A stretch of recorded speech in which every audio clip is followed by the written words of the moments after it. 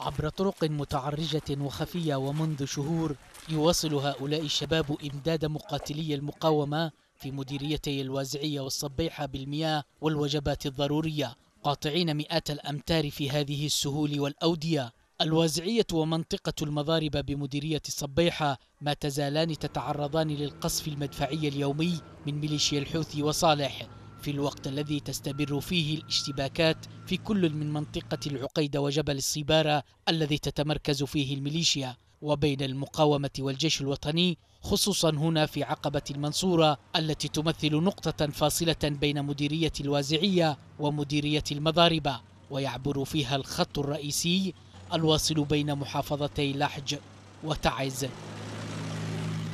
شكلنا مقاومة قوية أولا تأمينا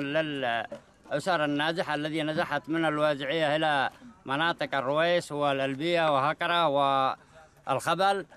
ووفرنا لهم ملاذ آمن عندنا في مناطقنا. العديد من قرى المديريتين باتت أهدافا بالنسبة للميليشيا كقرية الرويس وهقرة التابعتان لمديرية المضاربة بينما من الجهة الشمالية منطقة العقيدة والمحيفر التابعتان لمديرية الوازعية